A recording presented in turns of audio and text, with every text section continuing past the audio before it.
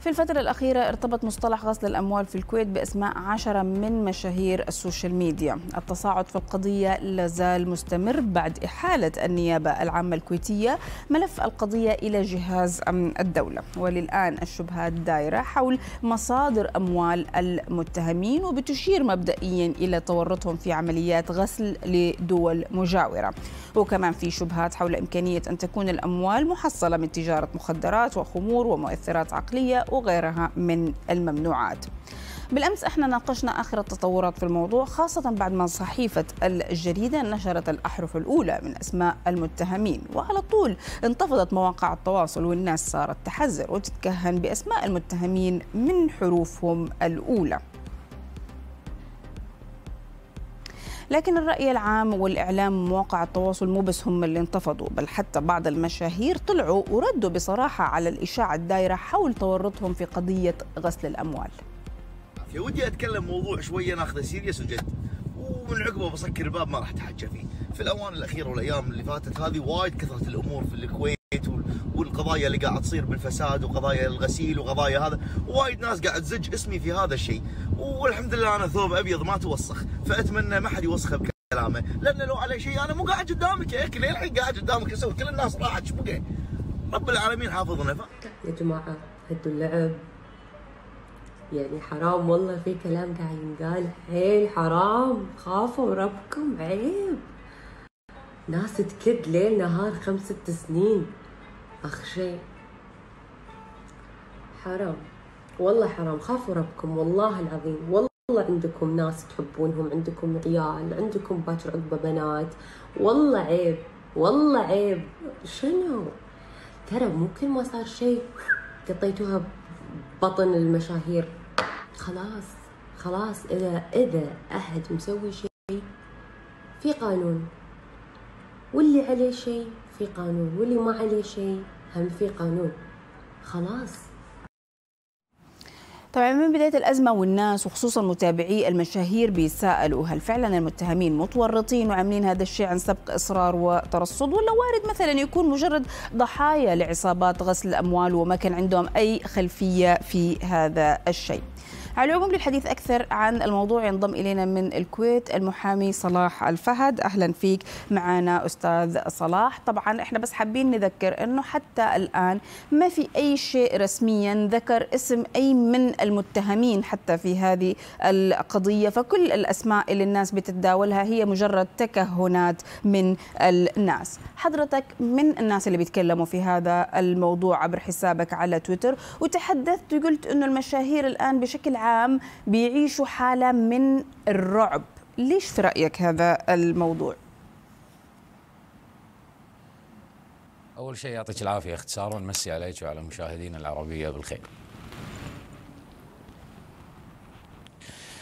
الصوت واضح؟ إي واضح جدا تفضل طيب أنا في البداية أحب أنوه على نقطة معينة اختصارا بالسابق م. كان في نقد يتجه إلى حكومة الكويت أو لدولة الكويت من خلال يعني خلينا نقول تأخرها في التشريعات فيما يخص مكافحة غسيل الأموال وتمويل الإرهاب م. كانت متأخرة عن دول الخليج وفي قضايا سابقة شهيره انحفظت أو انتهت القضايا هذه بسبب نقص التشريعات أي مما أدى إلى دخول الكويت إلى منطقة رمادية في وزارة الخزانة الأمريكية كاشتباه في تمويل أو مكافحة غسل الأموال يعني نقص تشريعات في مكافحة غسل الأموال وتمويل الإرهاب. صدر القانون 106 على 2013 خرجت الكويت من المنطقة الرمادية هذه في وزارة الخزانة الأمريكية وبدأ العمل في مكافحة غسيل الأموال وتمويل الإرهاب على قدم وساق. لذلك أنتم ترون أن كثير من المشاهير وكثير من قضايا غسل الأموال بدأت تطفو على السطح لأن التشريعات قامت تغطي الأمور هذه. واللي غلطان أو اللي مسوي شيء راح يكشف التحقيقات وراح تكشف وحدة التحريات المالية يعني. يعني كأنك بتقول أستاذ صلاح إنه يعني هذه المرة غير المرات الماضية هذه المرة لا العمل جدي جدا. طبعا طبعا غير ومختلف اختلاف كلي لأن القانون اللي صدر اللي هو 106 على 2013 وضح وفصل جرائم غسل الأموال سواء كانت بقصد تمويل الإرهاب أو تحصل على هذه الأموال من تجارة غير مشروعة أو غيرها. كلها مفصلة في القانون وواضحة ويعني أنا أقول اللي اللي بيطيح هالمرة على قولتهم ما حد مسمي عليه يعني. أما بخصوص المشاهير اللي قاعد يطلع وقاعد ينفي و... ويقول لك أنا مالي شغل أنا مالي شغل. إحنا شفنا إن كثير من المشاهير إذا مو أغلبهم كلهم طلعوا بس عفوا لأن عندي مشكلة بالسماعه أنا هذه أعاني منها من زمان وياكم. لا معلش. الحين تمام؟ كذي الصوت؟ إيه تمام تمام الصوت. نعتذر على إيه لا أعانيها أعانيها. وياكم. لا. أسفين لا لا ولا يهمك. يمكن يمكن أذوني أنا كبير أنا أعتذر بعد. عموما إذا كل واحد فيهم حي- حي- حيطلع يصرح ويقول أنا مالي شغل أنا مالي شغل طيب منو اللي له شغل؟ يعني مين اللي غسل الأموال؟ يمكن الشعب الكويتي هو اللي غسل الأموال والمشاهير ما غسلوا.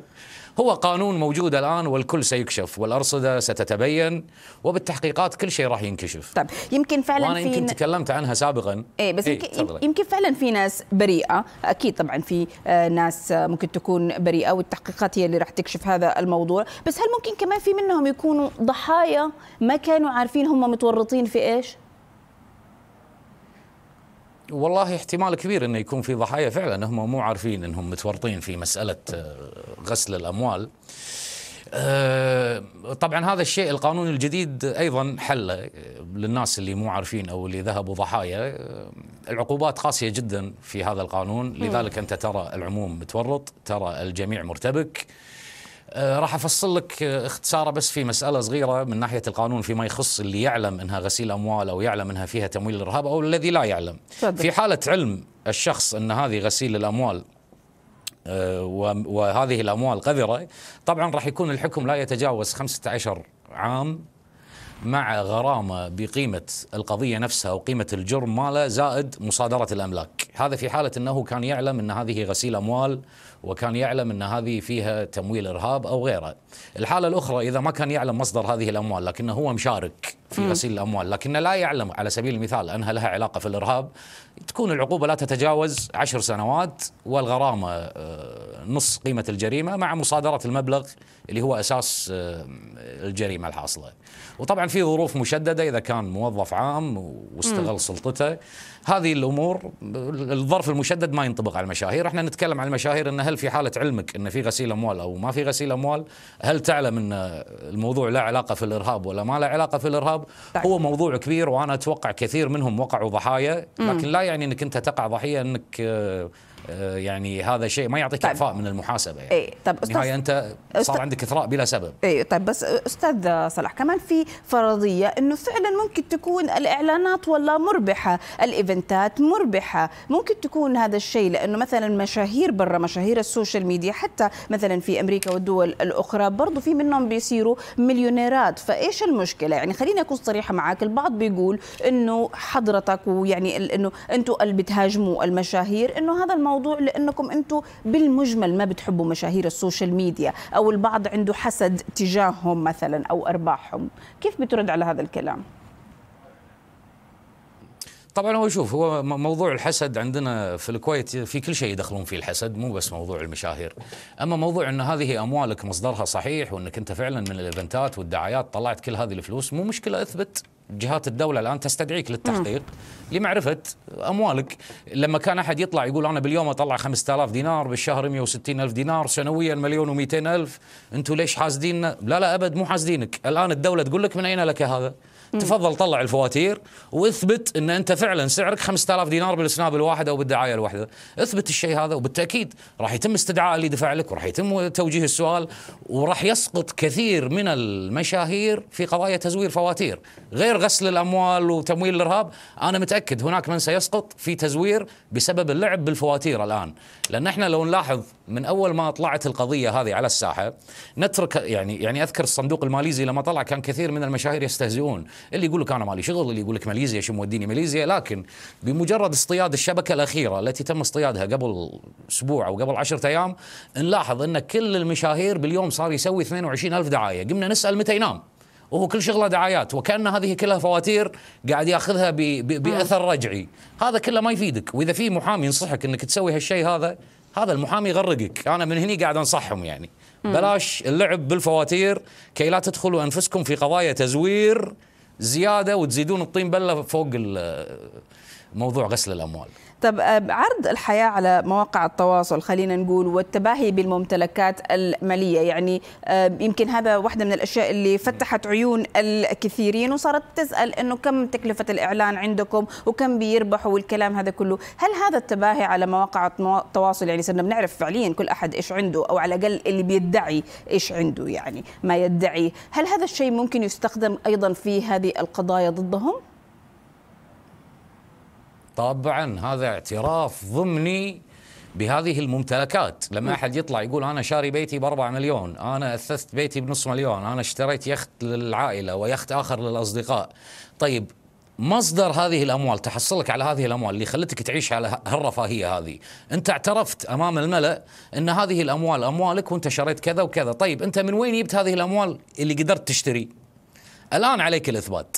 اي فأنت أمام الدولة معترف إن هذه أموالك. ومعترف إن أنت تحصلت على هذه الأموال لكن طريقة تحصلك على هذه الأموال مم. الآن عليك الإثبات. عليك تطلع الفواتير. طيب على العموم نحن بنشكرك على هذه المداخلة بس كمان حابة أيضا أوضح إنه كل الصور الواردة في هذه الفقرة واللي عرضناها هي صور عامة ولا تعبر عن أي شيء تحديدا أو أي شخص معين بالتأكيد. تحديدا. بالتأكيد. ونحن بنشكرك على هذه المداخلة وبنعتذر على موضوع السماعه إن شاء الله المرة الجاية تكون عندنا في الاستوديو ما نحتاج سماعات. نشكرك. كان معنا المحامي أنا أخاف المشكلة تطلع فيني مو فيكم أنتم يعطيكم العافية حياكم. يعني قدام الناس حنقول نحن المشكلة خلينا كذا نعديها. شكرا. بس يعطيكم ألف عافية مشكورين.